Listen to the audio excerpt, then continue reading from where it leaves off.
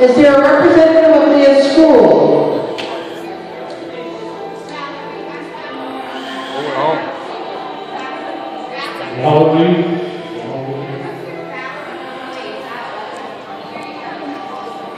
Okay.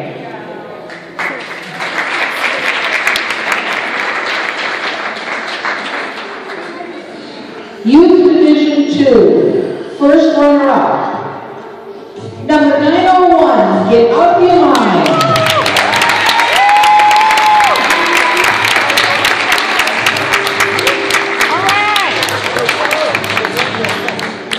And the winner of the youth